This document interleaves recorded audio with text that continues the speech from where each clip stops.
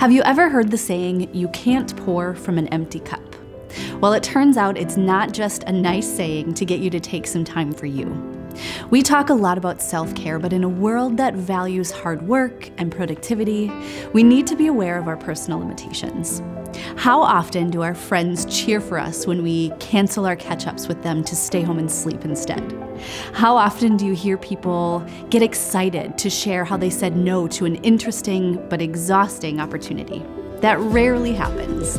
But I want to encourage you today to go to bed that extra hour early, drink that extra cup of water, say no to something that sounds like it will take more energy than it will provide you. It's okay to say no if it means you'll have more time and energy for you. Fill your cup first so you can continue to pour into those around you. I'm Lindsay Brown, and this is your 60 Second Growth Spurt.